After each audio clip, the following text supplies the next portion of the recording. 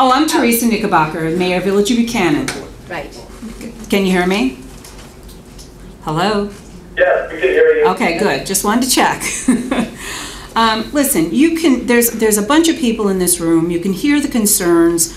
Um, I believe Mr. Blanche had a lot of good questions, a lot of good comments. Also, Dave had excellent questions and comments. We have concerns. We want this to be safe. You know, this is our community.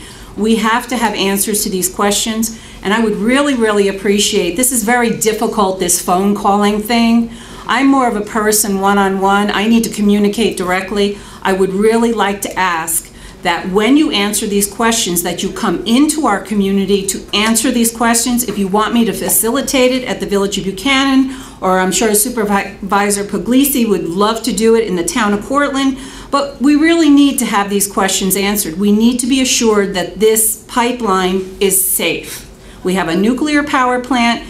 You guys are in charge of making sure these nuclear power plants are safe. So please, please, answer these questions, get answers to these questions, get back to this community, and assure us that this is safe.